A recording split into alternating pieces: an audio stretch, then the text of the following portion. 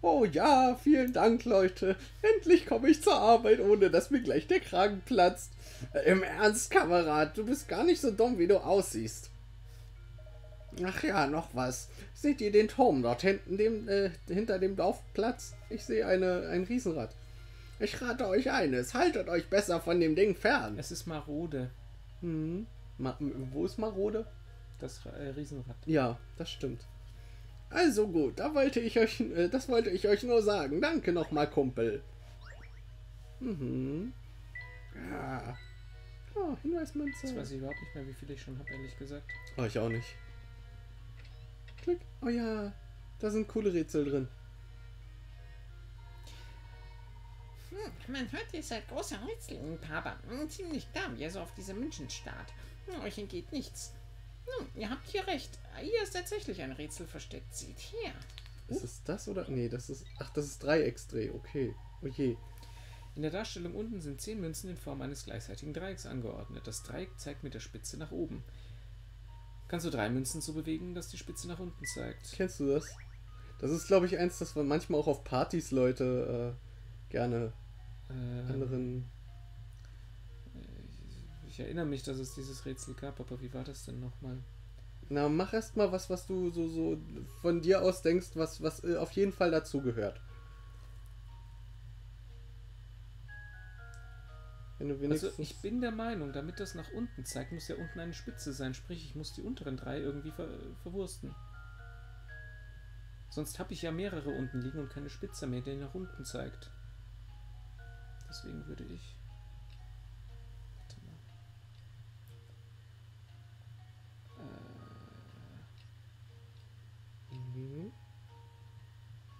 Wobei. Mhm. So. Genau. Also doch nicht die unteren drei. Nicht ganz die unteren drei, aber so an sich. Ja. Ja, genau, man dreht die einfach ein Stück weiter. Mhm. Hm, Ja, das hatte ich mir gedacht. Ihr seid richtige Rätselfreunde. Ja. In Sam ist ja wimmelt es von Rätseln an, aber nicht alle sind so nett wie ich, also passt auf. Und dann der, der Typ am Tresen hat, glaube ich, auch noch was. Und zwar so eine ganze Rätselreihe hat er, glaube ich. Das Tischdeckenrätsel. Und hier die stapelbaren Stühle. Stimmt, der hat auch eine Mehrzweckhalle hier drin. das kann doch nicht sein. Was sind denn hier noch?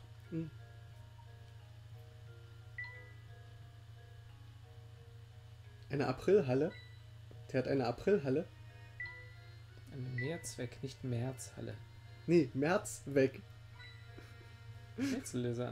Juhu. So, jetzt zu ihm.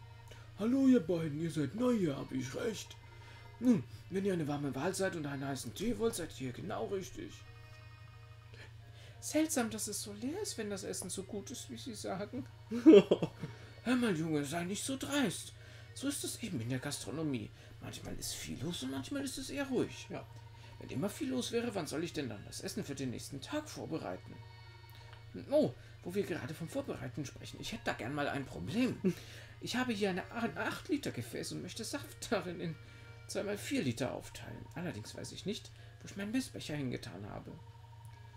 Ich frage mich, ob das nicht auch mit diesen 5 und 3 Liter Gefäßen irgendwie klappt. Das Rätsel ist lösbar in. Steht da was? Hier siehst du ein 8 Liter Gefäß Saft, ein leeres 5 und ein leeres 3 Liter Gefäß. Auf den Gefäßen ist keine Messskala. Deine Aufgabe steht nun darin, das 8 Liter, den 8 Liter Saft, die 8 Liter Saft so zu verteilen, dass das 5 Liter Gefäß und das 8 Liter Gefäß jeweils genau 4 Liter enthalten. Berühre ein Gefäß, um es anzuheben. Achso, und jetzt? Und jetzt berühre ein anderes Gefäß, um da was reinzukippen. Mhm. Damit hast du da schon mal zwei Liter drin. Ja. Ja, das war jetzt Unsinn. Mm, Nee, war es nicht. Warte, warte, warte.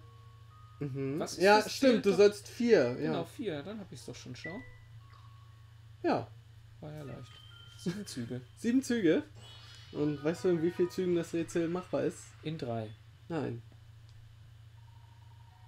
Sieben. Ja. Ich weiß nicht, die fand ich immer schon nicht sonderlich schwer. Ja. So geht das also. Guten da äh, gute Arbeit, vielen Dank. Guten Tag. Wenn ich wieder ein solches Problem habe, melde ich mich bei euch, ja? Okay. Sprich ihn übrigens nochmal an. Oh, er hat nichts. Schade. Das kommt wahrscheinlich später erst. Ja, wahrscheinlich. Oder du gehst nochmal raus und wieder rein und dann hat er es immer noch nicht. Okay. Aber ich glaube, er hatte mal irgendwo zweimal hintereinander das. Das kann sein. Gut, weiter. Oh, ein Rätsel. Früher Dieses- waren mehr Rätsel versteckt, kann das sein? Oder Früher, häufiger? früher war auch mehr immer Lametta. ja, ich glaube auch. Dieses schmutzige Glas erinnert mich an ein Rätsel, das ich mal vor einiger Zeit gehört habe. Oder wir rushen hier gerade so durch, dass uns das so vorkommt, als wäre das Meer. Kann auch sein. Äh, Flasche voll Bazillen. In einer Flasche wohnt eine riesige Bazille. Nach einer Eine Minute- riesige. Ja. Äh, eine einzige Bazille. Nach einer Minute teilt sie sich in zwei. Nach einer weiteren teilen sich die beiden wieder, sodass nun insgesamt vier Bazillen in der Flasche sind. Bei diesem Tempo ist die Flasche nach genau einer Stunde randvoll mit Bazillen. Wie viele Minuten wird es dauern, bis die Flasche voll ist? Wenn sie am Anfang zwei Bazillen enthielte.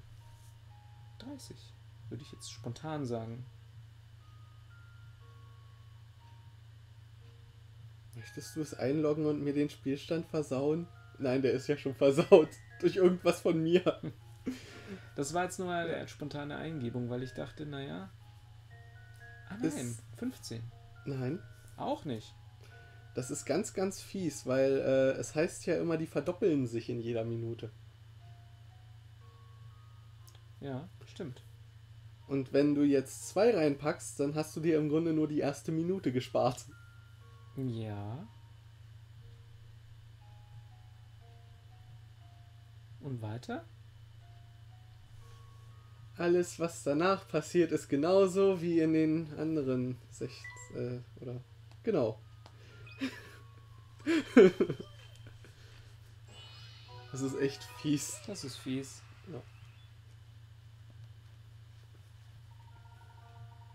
Ja, die Antwort lautet 59 Minuten.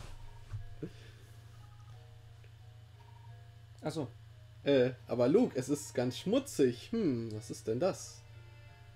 da ist etwas darin versteckt. Oh, tatsächlich. Ähm, Luke, fass mal hinein und sieh nach, was drin ist, ja? Oh. Flasche voll Bazillen zum, zur, zur Gerichtsakte hinzugefügt. Du, du,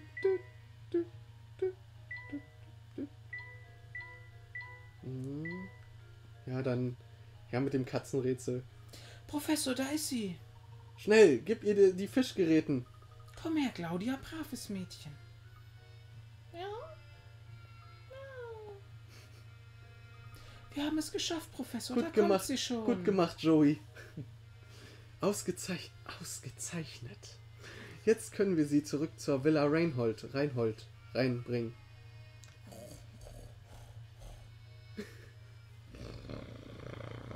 Du klingst ja, als hättest du Halskrebs. Oder Kehlköpfentzündung oder so.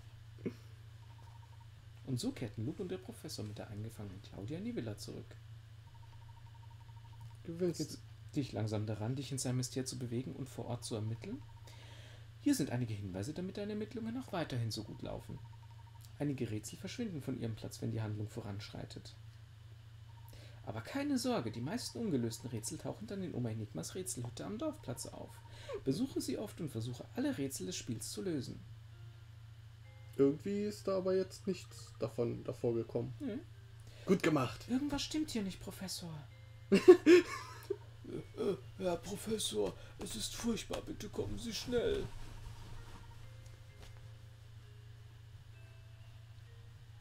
Mach keinen Wind. aber der macht auch Wind. Was haben sie denn, Matev? Matev? Hm. Matev. Wenn sie sich um Das ist ein die. jüdischer Name. wenn sie sich um die Kerze, ich meine die Katze sorgen, haben, äh, sie haben wir heil wiedergebracht. Oh, nun, das wird die Baronin freuen. Doch im Moment ist die Katze nicht von Belang. B- Bitte eil sie nach oben, hier entlang, bitte. Sie sind also der berühmte Professor Layton. Mein Name ist Chelmy, Inspektor Chelmy. Ich leite hier die Ermittlungen. Die Ermittlungen? Ist das nicht etwas übertrieben? Wir haben Claudia gesund wiedergefunden. Oh, Claudia, mein Liebling, Mami hat dich so vermisst. Was macht diese Katze hier? Wieso in aller Welt bringen Sie ein Tier an einen Tatort? Wir waren für eine Weile im Dorf und wissen nicht, was vorgefallen ist. Was ist denn passiert? Hier geschah ein Mord, Professor. Ein heimtückischer Mord. Ein Mann wurde getötet. Wie bitte? Wer wurde ermordet? Sechstausend. Das Opfer war hier wohnhaft. Ein gewisser Simon Simon Reinhold. Simon Reinhold. Simon wurde. Vor etwa zwei Stunden bekam ich eine Meldung, ein Mann sei in der, in die, in, in der Villa Reinhold reingebrochen. Dachte ich erst eingebrochen, aber in Wirklichkeit ist hier jemand zusammengebrochen. Genauso wie die Verteidigung in Stalin. Nach meiner Ankunft am Tatort stellte ich fest, dass Simon nicht mehr am Leben war. Und was war die Todesursache? In dieser Sache leite ich gerade eine Ermittlung. Ich möchte Sie nur wissen lassen, Leighton, dass Sie, äh, dass auch Sie als Verdächtiger in Frage kommen. Die weiteren Details des Falls sind streng vertraulich. Wo Sie gerade von Details sprechen, wer war der Anrufer, der Sie von dem Fall in Kenntnis setzte? Haben Sie was an den Ohren? Ich habe doch gerade gesagt, dass die Details streng vertraulich sind. Das sind alles Geheiminformationen der Ge äh, Alle mal herhören. Ich werde Ihre Aussagen im Nebenraum aufnehmen. Bitte treten Sie nacheinander ein. Und damit eines klar ist, niemand verlässt das Anwesen, bevor ich mit allen Beteiligten gesprochen habe.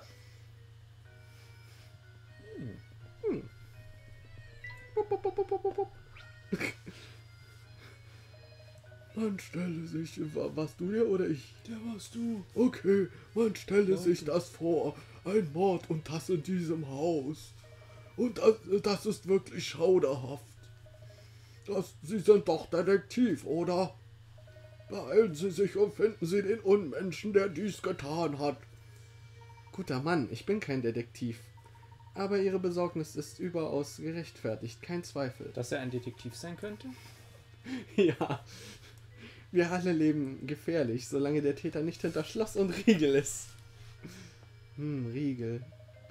Sie, äh, Sie sprechen mir aus der Seele.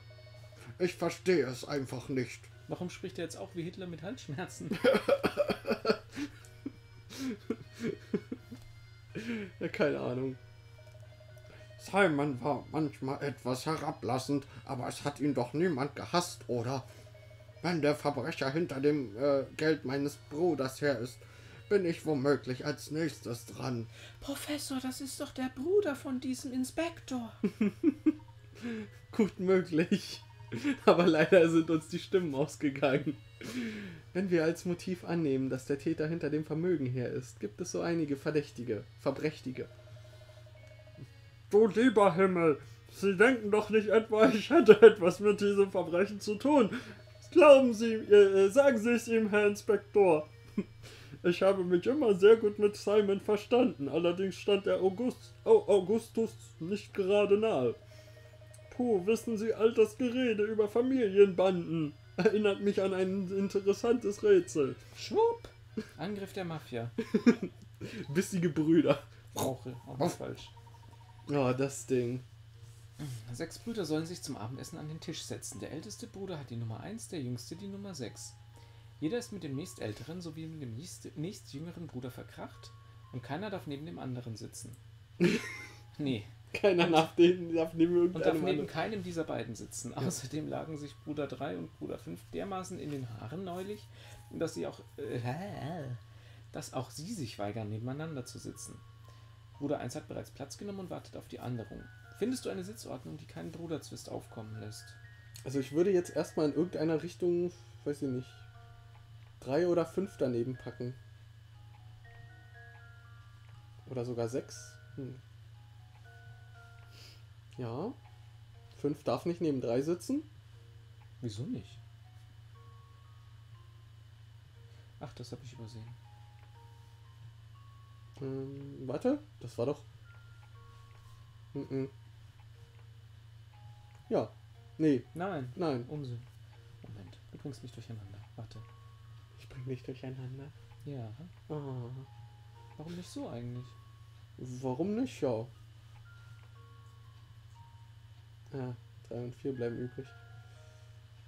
Welche hatten 3 und 5 hatten sich in den Haaren und dann. Äh. So? 1, das 3, dagegen? 5, äh, nö, nö, super.